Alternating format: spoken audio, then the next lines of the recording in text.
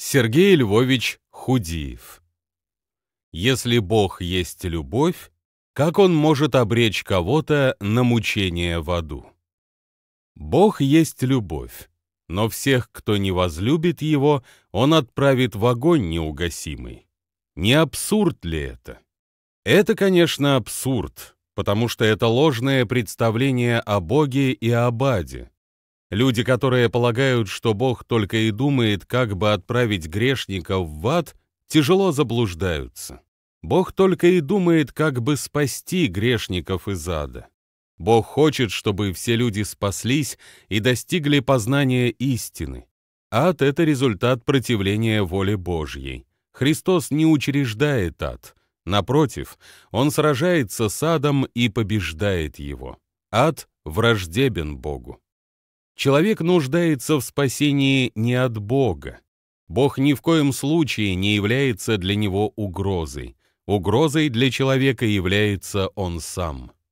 Один рок-музыкант, проводивший жизнь обычную для его среды, едва не умер от наркотиков, но покаялся и обратился к Богу. Потом он написал книгу с названием «Спаси меня от меня самого». Это очень хорошая формулировка проблемы греха. Мы нуждаемся в спасении от себя самих, подобно тому, как наркоман нуждается в спасении не от каких-то внешних сил, но от его собственного разрушительного порока. Наркоманию иногда называют раком воли, и это название можно отнести к греху вообще. Наша воля смертельно повреждена грехом, мы склонны устремляться к греху и гибели, так же, как наркоман тянется за очередной порцией яда. Как-то я видел документальный фильм о разделе Индии, когда бывшая британская колония была поделена на, собственно, Индию и Пакистан. Три крупнейшие общины страны – индусы, мусульмане и сикхи – погрузились тогда в страшную взаимную резню. Примерно миллион человек погиб, 15 миллионов были вынуждены бежать из своих домов. В фильме показывают интервью с Сикхом, уже очень пожилым на момент съемок, который, поглаживая свою кривую саблю, похваляется тем, что ни один мусульманин не ушел от него живым. Когда у него спрашивают, не сожалеет ли он о совершенных им убийствах, он с гневом отвечает, «С чего я должен сожалеть? Да они вырезали половину нашего народа». Этот человек, наверное, уже скончался. И что может быть в вечности с этой душой, перешедшей на ту сторону со всей яростью, ненавистью и мстительностью, из-за которой люди устраивали ад уже здесь, на земле? Это пример из далекой страны с незнакомым нам человеком. Но примеров лютой злобы предостаточно и у нас под носом. В социальных сетях легко можно видеть, как люди ненавидят и желают злой смерти по самым разным поводам, причем, как правило, это не обидчики, лично причинившие им зло и горе, но какие-то злодеи, о которых они прочитали в интернете. Люди восклицают «не забудем, не простим», и если они с этим своим «не простим» перейдут в вечность, что это будет за вечность? Если допустить в рай злобу и ненависть, не перестанет ли он быть раем? И не превратится ли он в ад? Поэтому проблема грешника не в том, что его куда-то не пустят или куда-то отправят, а в том, что где бы он ни появился, он несет ад с собой. Смерть и ад — это не столько наказание за грех, сколько грех и есть смерть и ад. Писание говорит о небесном Иерусалиме и не войдет в него ничто нечистое, и никто преданный мерзости и лжи, а только те, которые написаны у Агнца в книге жизни. Откровение Иоанна Богослова, Апокалипсис, глава 21, стих 27. Это очевидно.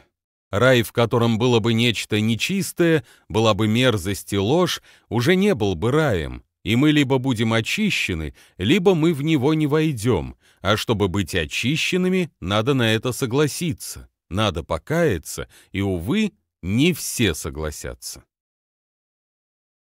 Возможно, в ад попадут какие-то исключительно плохие люди, убийцы, наркоторговцы и прочие злодеи.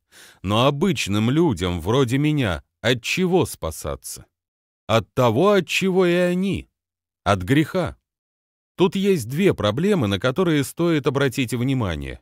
Злодеи обычно не видят себя злодеями. Чем в худшем духовном и нравственном состоянии находится человек, тем меньше он это замечает. Более того, тем больше он уверен в своей правоте. Как заметил один журналист, вы не можете совершать массовых убийств, не претендуя при этом на исключительную добродетель. Все массовые злодеи видели себя благодетелями и спасителями человечества, или хотя бы своего народа. Для особо закоренелых преступников, отбывающих огромные сроки за тяжкие злодеяния, характерен полный отказ хоть в чем-то признать свою неправоту. Общество вынудило их вести такой образ жизни. Жертвы сами их спровоцировали, друзья предали, правосудие преследует их ни за что, а им не в чем упрекнуть себя.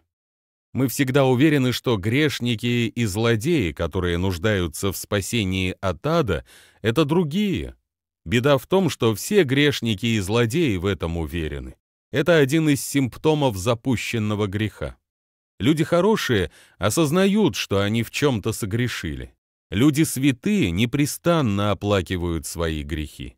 Приближение к свету, нравственное возрастание всегда проявляется в том, что человек все более отчетливо видит себя грешником, нуждающимся в спасении. Вторая проблема. В итоге есть только два места назначения. Мы либо окажемся в раю, либо в аду. Мы либо даем себя спасти, либо нет. Почему возможен только ад или рай, и нет никакого промежуточного места? Потому что рай — это прежде всего личные отношения, пребывание в семье с Богом и Его святыми. Библия сравнивает эти отношения с браком или усыновлением. Конечно, какое-то время можно находиться в процессе, молодые люди помолвлены, но брак еще не заключен — или супруги твердо решили усыновить этого ребенка, но пока собирают все необходимые документы и ремонтируют предназначенную ему комнату. Но в итоге молодые либо женаты, либо нет. Ребенок либо усыновлен, либо нет, мы либо вошли в завет с Богом, либо нет. Единственный источник добра, истины и красоты в мироздании Бог, и только Он — источник нашего вечного счастья, для которого Он нас создал, и мы либо возвращаемся к Нему, либо обрекаем себя на вечное несчастье. Могут ли святые радоваться в раю, если в это время другие люди страдают в аду? Этот вопрос исходит из той глубокой и верной нравственной интуиции, что, имея дело с чужим страданием, мы должны стараться его облегчить и игнорировать его, наслаждаясь жизнью, как будто нам и дела нет, было бы аморально. Видя чужое страдание, мы чувствуем себя неуютно, и это должно побудить нас прийти на помощь. Мы должны оказывать действенную любовь другим, и это особенно должно быть свойственно святым в раю. Но Бог и Его святые как раз и оказывают погибшим душам всю любовь и заботу, которую возможно оказать. Эти души не дают себя спасти, ввести в общение с Богом и святыми, но это не значит, что они лишены любви Божьей. Они ее отвергают, противятся, ненавидят, но это не значит, что их не любят. Для них делают все, что возможно. Но ведь ад есть место вечного мучения. Что же получается, грешников мучают из любви? Нет, конечно. Источником мучений грешников является грех. Хороший пример есть у Гоголя в повести «Страшная месть». Та мука для него будет самая страшная ибо для человека нет большей муки, как хотеть отомстить и не мочь отомстить. Грех, в данном случае мстительность, является источником несомненной муки, но ни Бог и ни святые эту муку причиняют. Мы понимаем, что воспрепятствовать мстительному человеку, отомстить его врагам хорошо и правильно, и будет проявлением любви по отношению к нему, и по отношению к другим, но он сам воспринимает это как муку. Любовь Божия делает для погибших душ то, что возможно сделать. Полагает злу предел, границу, которая препятствует грешникам далее возрастать во зле и губить Божье творение.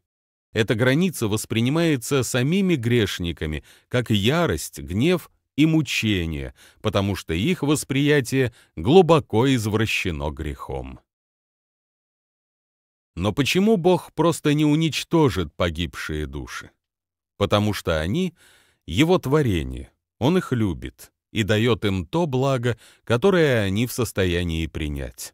Существование, сознание, познание истины — все это несомненные блага и дары любви Божьей. Они остаются благами, даже если человек настолько разрушил себя грехом, что все это для него является предметом ненависти и муки.